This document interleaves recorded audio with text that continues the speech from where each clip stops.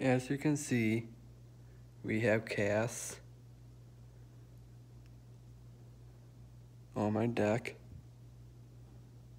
And we also have cat houses because they're homeless.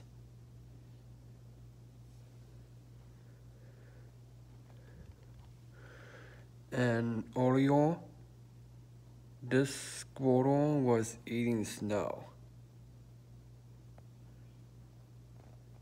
Oh well.